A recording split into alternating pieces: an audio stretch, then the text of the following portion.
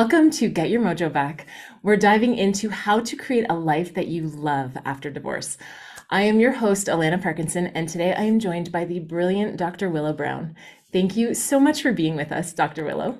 Oh, it's such a pleasure to be here. I'm so excited. I love that you're putting together a summit for women who are rediscovering what life is like after after being in a marriage for a long time, some of them with kids and you know, I think as a as a woman, we really go into this uh, giving up of ourselves quite easily. It's kind of a neuro, you know, it's kind of in our brain chemistry. So um, there's no one at fault about it, but it's it's. I think there's an uprising right now around um, starting to reclaim your your sovereign self. Yeah or claim think, it for the first time for some of us. and that's I think that's it too, right? A lot of us come into it come into marriage, come into that whole idea of this is what life is supposed to be like, right? We're supposed to go to school, get our job, you know, find that person, get married, buy the house, have the kids, have the car, you know, all that stuff, and not really tapped into what it is that we want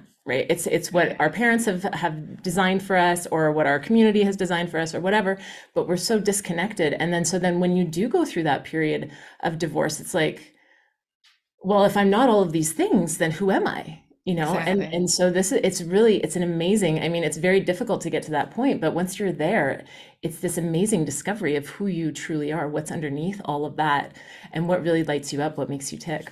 Mm-hmm. Absolutely so, can you just give us a bit of background, who you are, what it is that you do, where you're coming from today? Yeah, I'd love to. So, um, I am a Chinese medicine doctor and a functional medicine expert who specializes in endocrinology and sexuality. Um, I have been working with women and women's health for over two decades. I've been a doula for a long time. You know, at certain times I was doing that for more intensively. Now I just kind of go to births and stick needles in people and usher babies along and, you know, and just really hold women as they go through each of those trans- transitions that we go through as women. I, I, do a lot of work in the perimenopausal space right now, um, you know, because that's such a huge transition. And then women too who are, yeah, going through divorce or breakups, you know, just big changes in life. And I think um, we're in this sort of post COVID time. And um, a lot of people, not just women, but everyone is going through this like, what? What am I doing? Where am I at? And that relationship isn't working for me. And this, you know, career path isn't working for me. And so there, I feel like there's a lot of confusion right now and you know i'm sitting in some of it myself and I, I don't think that it's there's anything wrong with it. I think we need it it's part of this like shaking of of what wasn't working like shaking it up so so that the you know the snow globe can can settle in a in a new way that that works better for us. The the trick is i think is keeping your um keeping your essence intact. And for a lot of us, we don't even know what our essence is. And when we look at essence from a Chinese medicine point of view, it is sexual energy, Jing Qi, we call it J I N G.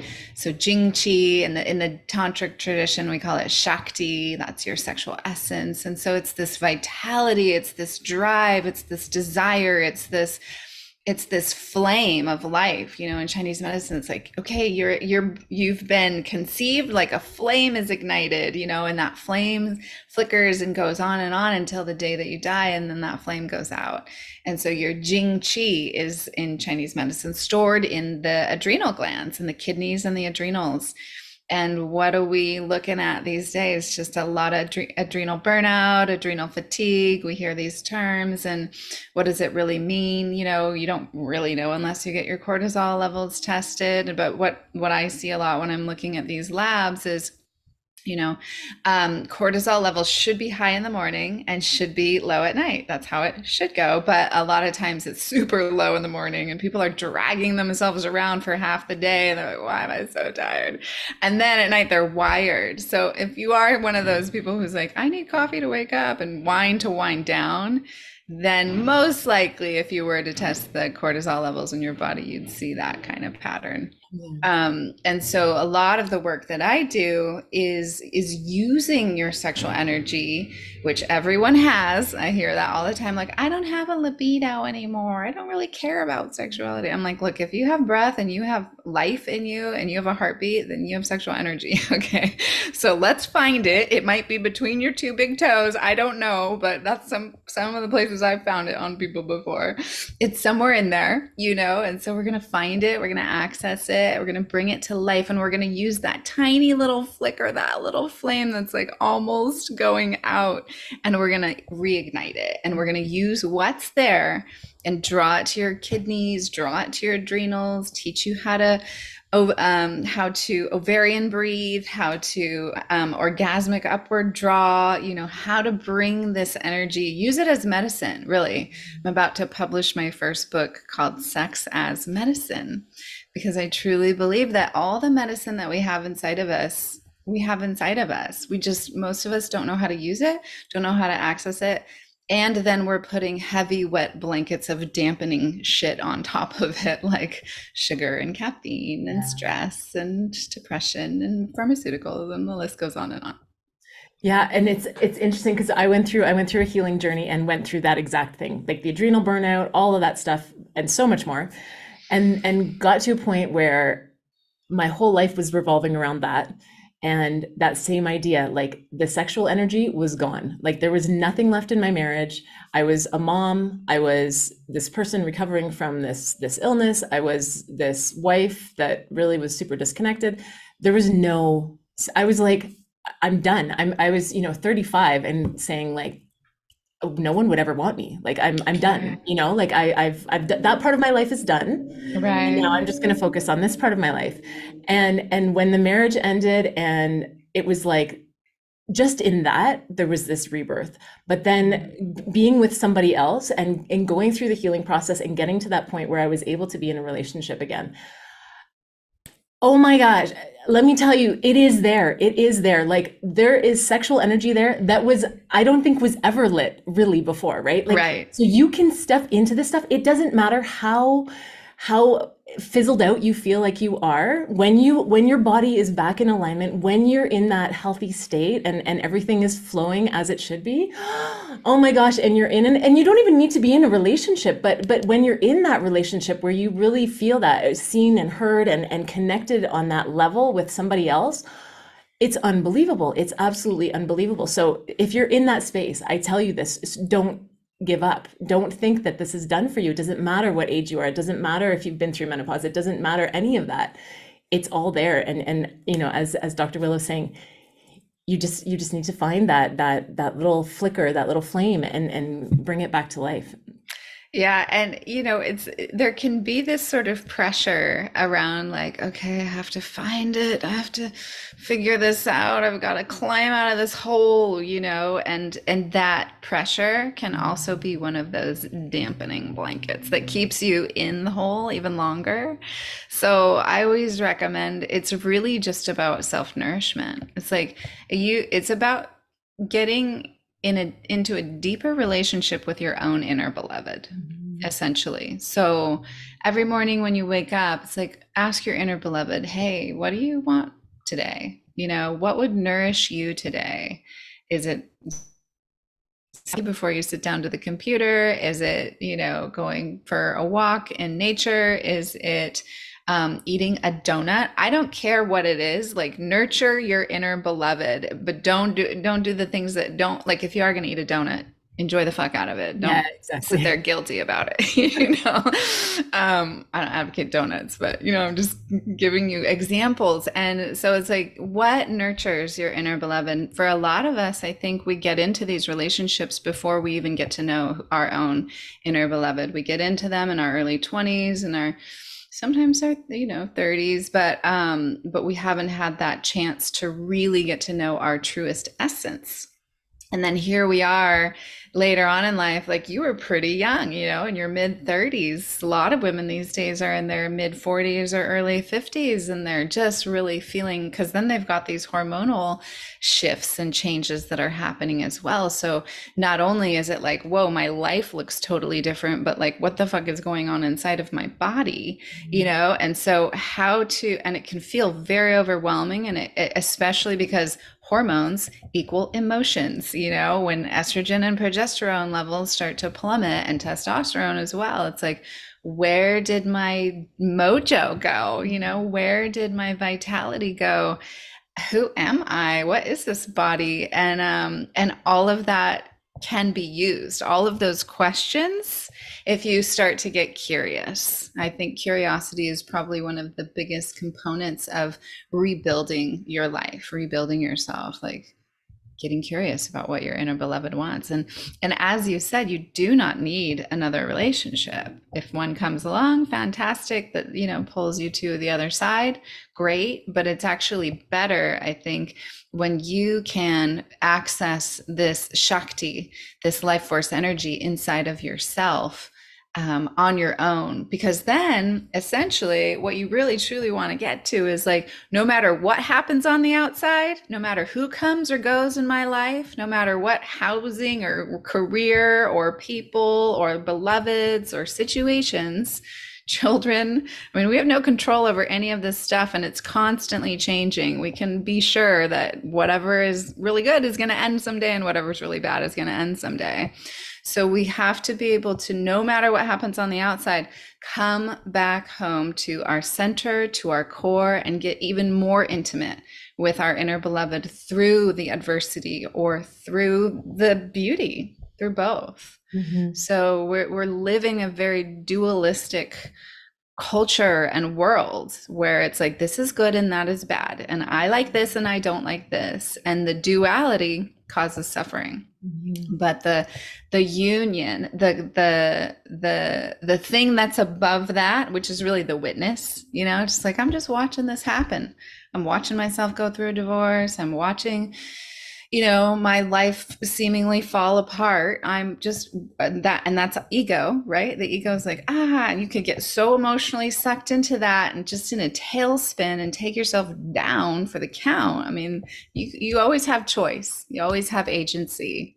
So you can you can rise above and just watch it and be like oh it's not interesting that this is happening to me. Is it happening to me or is it happening for me? Maybe this is happening for me you know and it's always good to look at your track record too like have you had a pretty you know have things often worked out for you one way or the other um, then you can you can rest in that and trust in that but but the Tao you know when we look at Taoist sexology so I, I teach tantra but I teach mostly primarily Taoist sexology and um, let's just define that Taoist sexology. What the hell is that? So, sexology is the um, study of or the observation of your own sexual energy. So we think of sexual energy as like, you know, having sex, you know, it, it, primary erogenous zones like the penis, the the pussy, the nipples, you know, but there's so much more to it.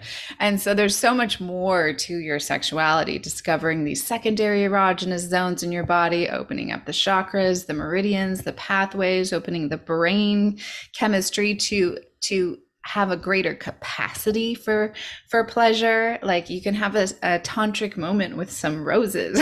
You don't need even another person you know? I have tantric moments with the ocean pretty much every day.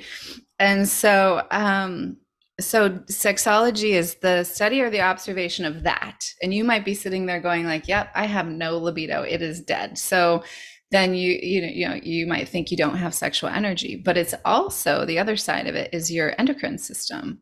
So what's going on with your uh, cortisol levels? What's going on with your adrenal glands? What's going on with your ovaries? What stage are you at in life? How is your diet affecting your thyroid gland? How is your thymus working? You know your your immune gland.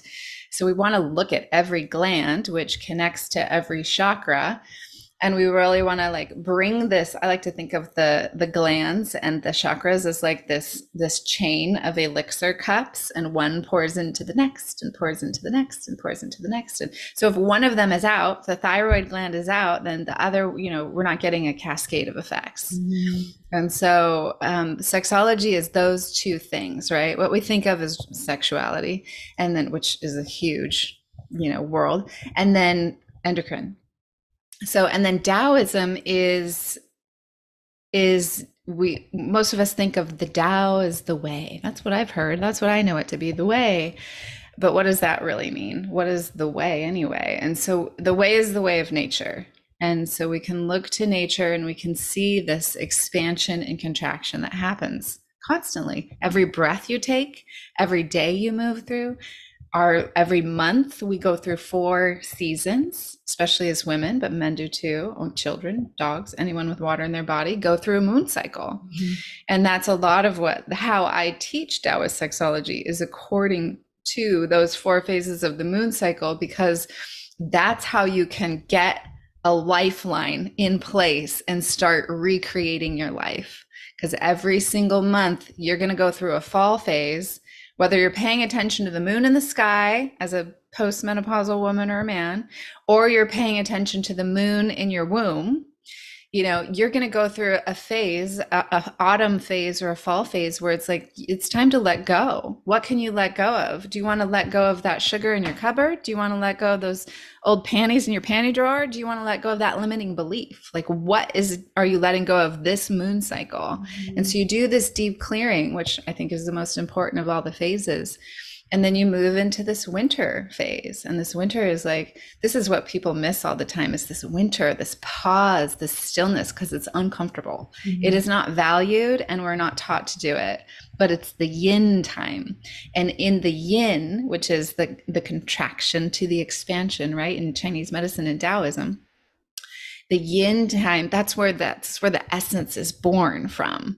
So in that stillness in just sitting with just being and recalibrating to who am i now i just cleared all that stuff. I just let go of my marriage. I'm not in the home i've been in for the last 25 years. Like my kids are out of the house like you know just i was that now who am i? So you might sit in the winter period for a week of your monthly moon cycle but you might be sitting in it for a couple of years also. Mm-hmm. So you want to look at these seasons not only in the monthly lunar cycle but also in your life Mm-hmm. Like I'm in a very big um, fall and winter phase right now myself, you know, and and we what is so challenging. Feel free to interrupt me right now, anytime. I'm just no, I'm just I'm super fascinated. Like it's so yeah, what's so um, challenging about it? Well, it's not valued, and then we think we're not getting anywhere when we're sitting in the yin. When we're sitting in the winter, we think you know, the ego starts to crawl back in and culture like,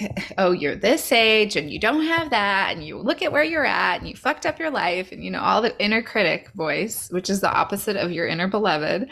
And, um, and but we don't realize that that's actually the time your adrenals are replenishing and so if you really take that winter phase and use it well and nourish nourish nourish nourish, nourish, nourish, then you are going to, when spring and summer come around, you're going to have the energy for it. Because what we do is we sit in this place and we stress out about it, right? We're not making progress. We're not becoming who we think we should be or whatever, who others think we should be. And we're missing our moment of replenishment. And then for sure spring and winter are going to come i mean spring and summer are going to come. That next expansion is going to come. I mean that's the thing that we can trust. That's the thing that we can rest in. Every expansion has a contraction. Every contraction has an expansion right behind it. And so it's going to come and then all this flow is going to be coming at you. All this life it's like oh my god and you're not going to have the resource for it. You're not going to have the reserve for it. So it's really important to pay attention to these lunar cycles and the season that you're in each month, but also in your greater life capacity. It's it's so true. Like to watch that whole that whole process the, the seasons come and go and all of that stuff and and to honor that as you were saying like we don't we're not taught to honor it. We're not taught to honor that inward focus. We're taught to achieve, do, you know, next thing, next thing, next thing. And and we don't take that time to go inward. We don't take that time to really to rest and recharge. And I mean, I I was I still I still struggle with it, but this year for the first time, I was like, I need to take care of me. In this moment, I need to take care of me and i'm i'm still kind of in that space right now. I've i have way less clients. I have way less i'm, I'm doing this this project. But for the most part other than that i've really pulled back and taken this time for myself taken this time for my family. And it's been amazing. It's hard. It's really hard because you have that inner critic that's like you're not doing anything. You're yeah, not doing you anything. This is producing. you should be building right yeah. now. Why are you not building? You have like, you know, and it's like, no, I need this time for myself. And it's true as you I have more energy now than I did even a week ago. But yeah. I had to honor that space. And I think it's really important. And especially when you're going through these challenging transitions, right? We it's like, oh my my whole world is falling apart, right? Like I, I don't know what to do here. I must do I must do? What how can I rebuild? And and the first part of that is is laying that foundation is getting really solid in who you are and taking care of yourself. And then from there as you said right everything starts flowing everything starts flowing. Then things build really easily. But if you're fighting against it then you don't have that energy. And what you're building is like you can imagine like some rickety like walls are falling down the windows like kind of crooked. You're like what did i just do? Right? So when you take that time and create that foundation then then what you build is really truly aligned with you and and it's stable and it's solid and it's going to carry you through to that next period right where you do that inner work and then can build again from that. So i love what you say. Yeah yeah I, it's it helps to give language to it you know for for for ourselves but then also when when people are like how are you? You know if you can say something like oh i'm i'm in a winter phase right now you know like i'm in a hibernation time right now. I'm really just I'm in this inward self discovery period, or I'm just kind of being and just listening, you know, and just tuning in to the universe and my soul and myself. That can be really useful because otherwise it's like, you know, how are you doing? And you're like, oh, I'm not doing well, you know, and you start giving language to the fact that you don't have this and you don't have that and da da da da da. And that's the, you know, so we're really taught to like clear it clear it out so you can fill it back up again you know? And so that's the one that we miss mm-hmm. is that winter phase. Yeah. And so so you a lot of the work that you do is around finding self-love and and how to really dive into that that part of yourself and and love yourself fully. How how do you teach that? How is that something that you can teach somebody else yeah, so I mean, I really teach it through what I call the ancient wisdom approach, which is the four phases of the moon cycle and the five Chinese elements and how they blend together inside of your body. So let's take that winter phase since we're on that topic right now. Um, we're looking at kidney, we're looking at bladder. So those are the organ systems. Then we're looking at the element is water, the season is winter. You know, wh- what is it to nourish the the water element inside of yourself? There might be a lot of tears. You know, it might be you need to go get in some water and change your element. You know, um, it might be that there's a dietary thing going on that you need to start to address. So all those things, and then we look at um, kidneys being like where yin and yang essence are stored. So what's your balance? What's your relationship to the feminine within you, to the masculine within you? How are you at receptivity? Can you receive a compliment? Can you receive pampering? Can you receive something good, or do you? Is there a self worth piece? I would say 99.9% of my clients, when I get right down into the root of it, it has to do with protection. Why is that block there? It's protecting me. Why is it protecting me? Because I don't think I'm worthy of anything else. I have to hold this. And I don't think that I can have what I truly desire. Mm-hmm. You know, so um, I like to incorporate Alison Armstrong's work quite a bit into mine and just her languaging is so great, you know. And one of the things she she says is like, well, if I can have it all my way, like really have it all my way, not just like, oh, I think you might be available to give me this much, you know, no, if I could have it all my way, or if I could wave a magic wand, you know, this is what it would look like. Mm-hmm. And so there is something about like dreaming bigger and having a bigger vision for yourself, but also not getting attached to that because that's again the duality of like, oh, this is what's good and anything else is bad. No, that's not it. It's um i always liken it to surfing you know if you're if you're catching a wave and you want to stand up on that surfboard you need to look about seven like four or five feet out in front of your surfboard so that you can land in the middle of the surfboard. If you look down at the middle of your surfboard you are going to fall and eat shit you know same with yoga right? When we're jumping through from a downward dog dog to our feet between our hands we need to look out in front of where we want to land. Mm-hmm. so there is something really important to um, kind of I, I, I don't love to word, use the word manifest anymore. I'm having a new relationship with that word because again that's like i'm manifesting this thing that i don't have you know so it's coming from this lack place but if you're if you're in a co-creation with the universe and you're like hey universe I, this would feel pretty amazing over here you know but but i understand that you have the bigger perspective and you see what is right for me and what is not right for me much more so than i do then you can trust mm-hmm. right then it, it's coming back to trust because intimacy is based on trust vulnerability and presence mm-hmm. and it's not about trusting the other person it's about trusting yourself again, I trust myself so much so that I can give my heart and soul away to this person. And if they walk away, I'm still going to be able to come home. For sure. It's the trust piece for me was I mean, it's still it's a daily practice for me. It's it just is. but but yeah. getting to that place because then you don't need to control, right? And that control piece is is where you lose your mojo, right? Because you're trying to control things that you have no control over.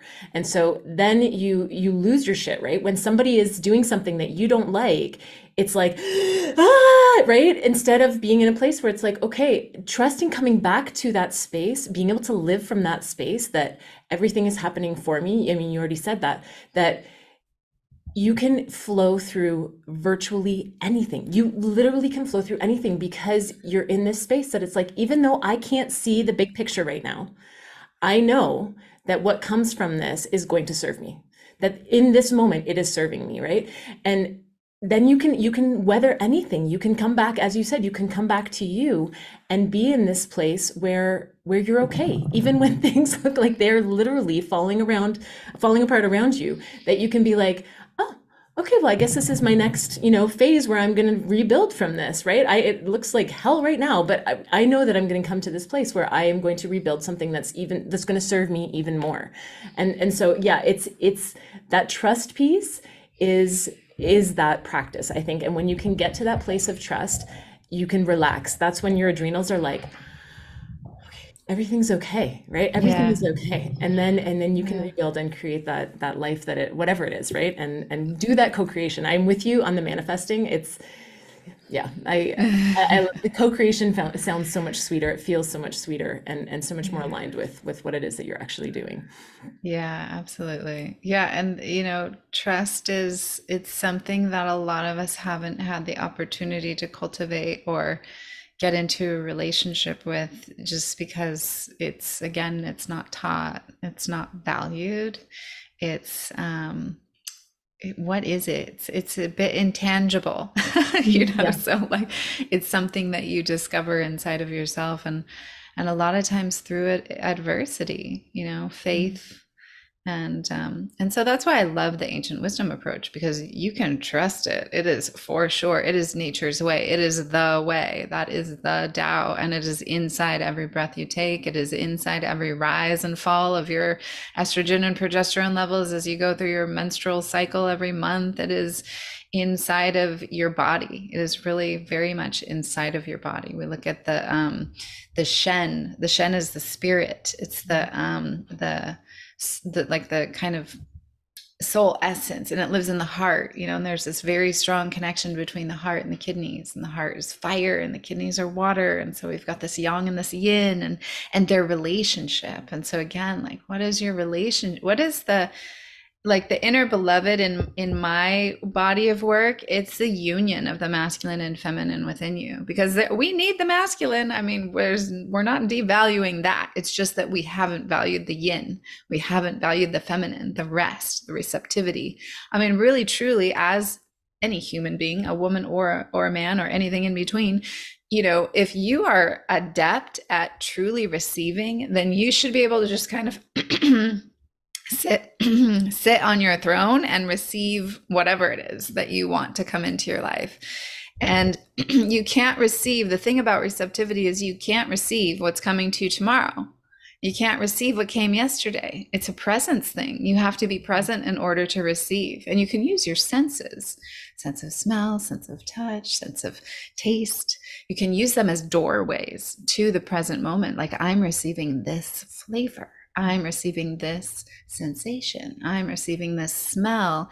And when you're in a regular routine practice of that all day long, like consciously receiving, then you start to open up this receptive vessel in your body, which is your yin meridian, most feminine and receptive of all of the meridians, which aligns to your chakras and your endocrine system because your glands are right there then um, you know you're opening yourself up to receive things that you didn't even know were coming to you. So i'm curious going back just a little bit I, I wanted to ask you earlier how do you how do you tap into the glands? Because you said you want to see where the glands are at. That's you know one aspect of the work that you do. How do you do that? Do you do that through acupuncture? Do you do that through some other testing? Or, or how do you find out where the the glands are at that's a good question. I love to use qigong. I mean, you can do you can mm. do a million different things. You know, you can you can do testing for sure. Um, so sometimes I'll test people's, you know, where they're at in their in their endocrine levels, like their estrogen, progesterone, testosterone levels. Look at their cortisol levels. That's important. But I mean, energetically, uh, you can feel inside of your body. If you're doing some qigong movements you can feel like oh yeah i feel some buzzing some energy. I can uh, i can feel a little but it's kind of eh, and then oh i'm getting down here. I don't i don't feel anything mm-hmm. you know and then it's down here and i'm like oh yeah a little maybe something and then you know a lot of a lot of the women who come into my work um, have first second and heart blocks. Mm-hmm. not all but a lot a lot have a hard time being in their bodies on this planet at this time which i think a lot of people do. A lot of people would rather not be here mm-hmm. right now. And um and that's root chakra. That's like being on the planet having some roots you know being in a body. And um and then second chakra sexuality creativity uh you know finances as well so mm-hmm. we're looking at all of that and you know i can i cannot if someone's with me physically i can run my hand over them and feel myself um but and then sometimes i can just talk to someone and they can tell me everything that's going on and all the stories and da da da da, da. and i'm like okay everything is pointing to the solar plexus mm-hmm. like you don't you haven't found your inner power yeah. so what supports the solar plexus second and first chakra so okay what we need to go you need to start at the at the base i think mm-hmm. um not so much always right where it's out but kind of like what supports it mm-hmm. it's the same in um, five element acupuncture and uh, you know what is the what's the mother of this element you know and and is it nourishing this element or is it is this element being undernourished in your body it's really vast you know? It's just such an amazing i'm getting really inspired. So five element acupuncture is a totally different style of acupuncture. And when i was in school i've been an acupuncturist for 15 years now i realized last weekend. I'm like damn how, where does the time go? Um so you know, I was in school and I was like, I love five element acupuncture because it's all, it's much more about the emotional, the spiritual. Like you really learn the names of the points, like window to the sky and abdomen sorrow, you know, just all these beautiful poetic names, very Taoist, very beautiful. And, um, and I just did a, a little course over the weekend and I was like, oh my God, I just got to go back toward that toward that style of acupuncture because it just makes so much more sense. I mean, not that traditional Chinese medicine doesn't make sense. I've had a lot of success with that too. But just where I'm at in my life, doing a lot more online work with people and coaching and tantric work, dakini sessions, helping people find that spark and that flame. Like, where is it living? You know, how can we access pleasure? How can we bring so much pleasure in? How can we nourish with the mother so that that child is supported? Mm-hmm. You know, inside of yourself. I'm not talking about family, but like there's these pieces and these archetypes inside of yourself. And so they need to be nourished and supported so that they can thrive. Yeah. No, and it, it is. It's I, I use that as well in, in the work that I do. Not not acupuncture, but definitely that that five elements.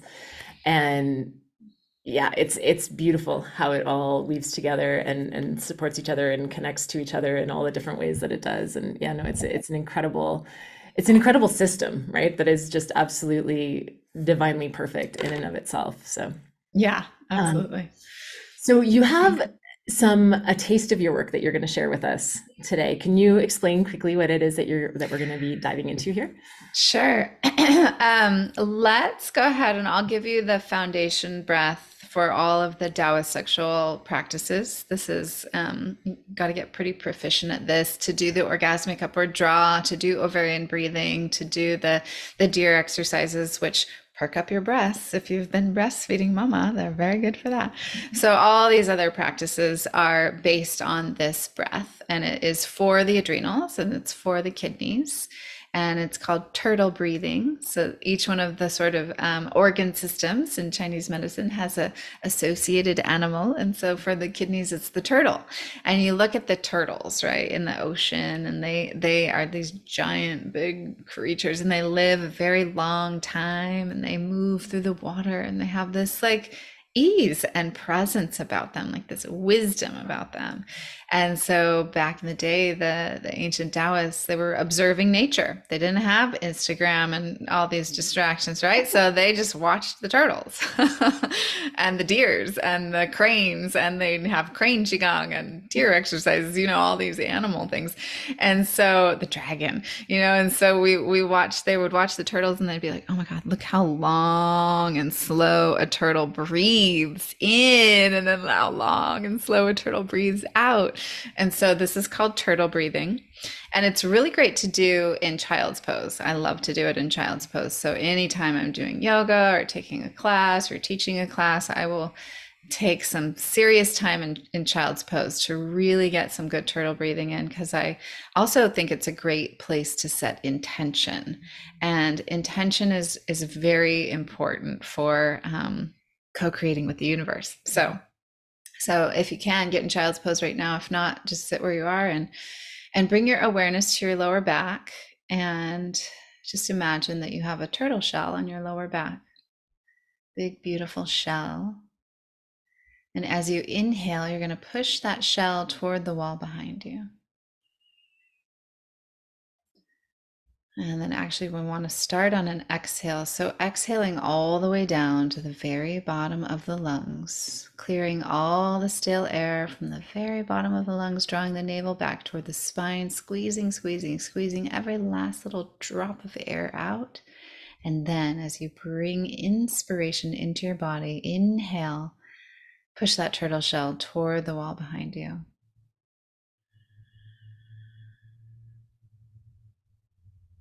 And as you exhale, just allow that shell to fall back toward your spine.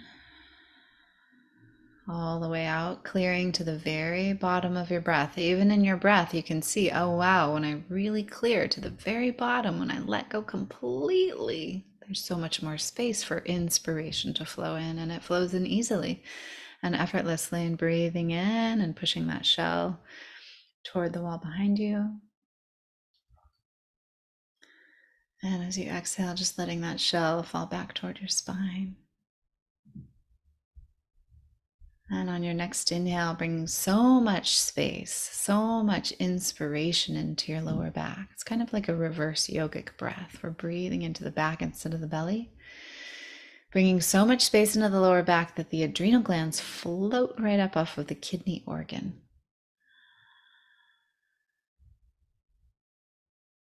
As you exhale, let that shell fall back toward your spine.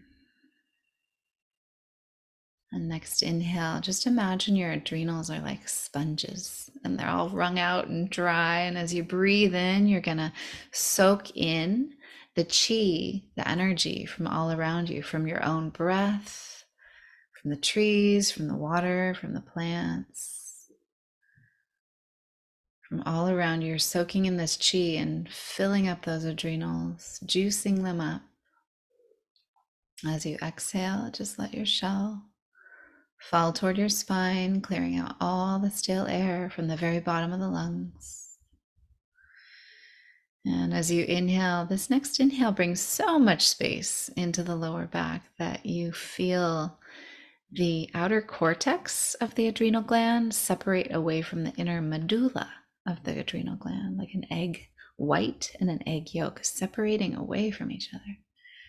And as you fill up the lower back, now you've got these three structures. You've got the kidney organ, you've got the outer shell, and you've got the inner seed, the medulla, all floating, all kinds of space between them. And they're like, oh, just reveling in this spaciousness.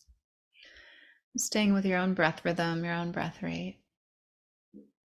Take a couple more breaths like this. And you can use some abdominal strength when you first start doing turtle breathing. You use your abs a bit. Over time, you don't need that anymore.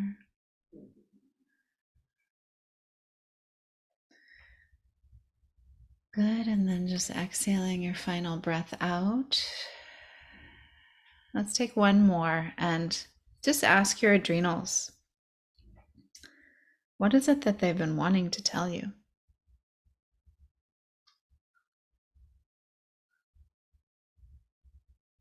listen to that message.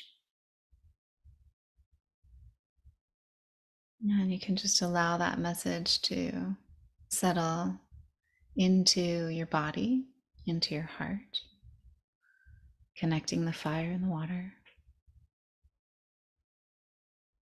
Just make a little vow to your this is your inner beloved. It can talk through your adrenals, it can talk through your yoni, it can talk through your heart. Just gave you a message so, how are you going to honor that message today?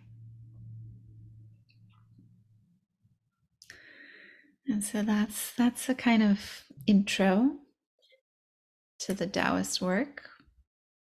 That was incredible. yeah, my my adrenals were like rest, rest.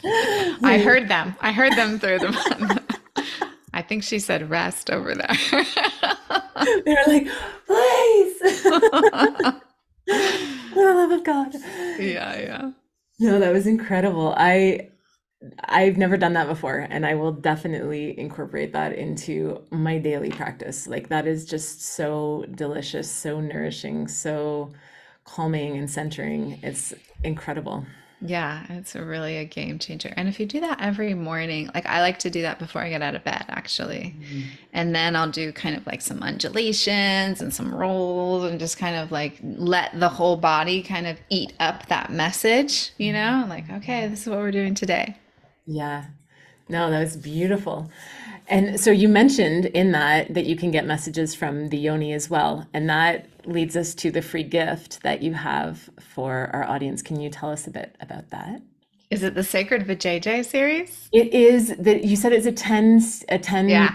mini okay, there you go. Okay. So it's the Sacred Vajayjay series, which is where you're going to get so much more in touch with your yoni than you ever have before. So yoni is a Sanskrit word. It means sacred space. And the yoni is really comprised of not just the vulva, not just the vagina, and not just you know the clitoris, but your the entire thing, including your ovaries, your fallopian tubes, your womb, your cervix. So your entire reproductive zone. So your whole pelvic bowl is really engaged in the yoni. And so there's a lot within that, right? There's a creative center, that's the womb. There's a, you know, a, um, the fallopian tubes, these pathways to the creative center, the ovaries, which are like where the juice lives. And so there's just a lot within there, within that. Plus, you're going to learn about some of the organ systems. Who thinks about the liver having to do with your sexuality or anything? But it has a lot to do with it. so you'll get into a new relationship with your body through this 10 part um, video series. And I believe I created it quite a while ago, but I believe there is deer exercises in there. So, so there's going to be some breast loving in there as well. And um, it's just a really sweet little series. And that's awesome. Thank you so much for that. It has been such a treat having you here today. It like honestly, I just I could sit here and talk another three hours with you without any issue at all. Um, but we are going to wrap it up. Thank you so much for being here. Thank you for sharing all of this incredible wisdom, all of this brilliance that you have, this way of looking at at the body, at the sexuality, at getting your mojo back, how it all flows together. Again, we are one being. So mm-hmm. just that that beautiful integrative way of of looking at it and and sharing that with everyone today. Thank you so much. Mm, my pleasure. Thank you so much for having me, Alana. It's lovely to sit with you and just to feel your energy and thank you for doing what you're doing. It's it's a big project. It's a big undertaking. So make sure you get some good rest in between. Yes. I heard I heard my adrenals. Uh, so make sure that you check out Dr. Willow's powerful work. You can check it out at our website, drwillowbrown.com. And don't miss this amazing free gift, get to know your yoni on a much more intimate level. As we're saying goodbye, do you have any thoughts that you'd like to leave our audience with, Dr. Willow? I would just say, you know, boy, it is not easy being a woman. It is not easy being a plant, a human on this planet at this time. And um, and be gentle with yourself as you resource yourself, as you continue to get to know. If you've never listened to your inner beloved before, that's okay. You just start now. You know, just start where you're at and be gentle with your process, be patient with yourself, and really just give yourself a pat on the back for the the moments of nourishment that you are able to find and start to align yourself with a, a more yin approach to life. It doesn't mean you're not going to get all the to dos done. You're still going to do that, but you're going to do it in a different way. And you're going to have a lot more energy because of that. Um, and then also, I do want to say, I want to just put it out there. We have a podcast that we just started called Sex Reimagined, Leah Piper and myself. And I believe you're going to get to hear Leah on this summit as well. Mm-hmm. And so we're just ongoing constantly kind of talking about everything between cervical orgasms and anal sex and and how to forgive your perpetrator you know? So it really runs the gamut. And uh, we have so much fun on there. So we would love to have you tune in with us as well especially after you have tuned in with Alana's amazing summit, because there's a lot of listening to do for these summits. So do Alana's summit first. And then when you're like, I need some more inspiration, come on over to the Sex Reimagined podcast.